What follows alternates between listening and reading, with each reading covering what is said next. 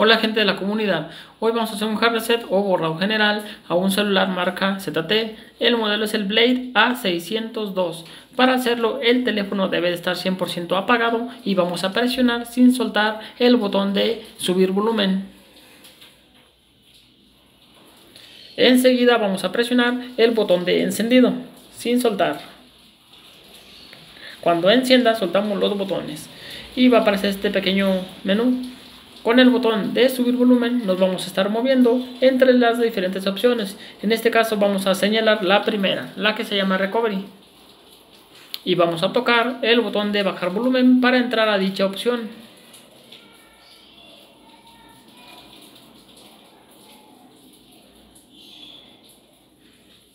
En unos segundos va a aparecer un robot. Para que aparezca el menú el cual vamos a ocupar, vamos a presionar el botón de encendido sin soltar. Enseguida vamos a presionar el botón de subir volumen.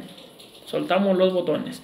Va a aparecer este pequeño menú. Con el botón de bajar volumen vamos a ir a la palabra llamada WIPI Data Factory Reset y tocamos botón de encendido.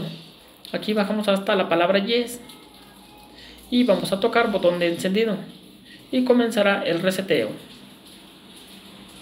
Cuando termine vamos a bajar ahora a la palabra llamada WIPI Caché Partition y tocamos botón de encendido.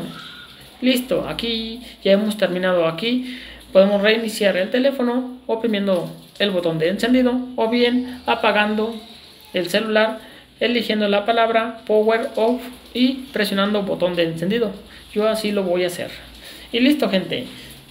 Si les puede utilizar el video tutorial no olviden suscribirse al canal. Saludos a todos y hasta la próxima.